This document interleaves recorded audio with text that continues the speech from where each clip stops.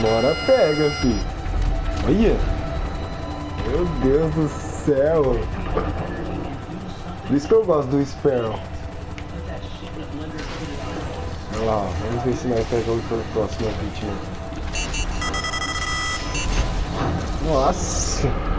Tomei de frente.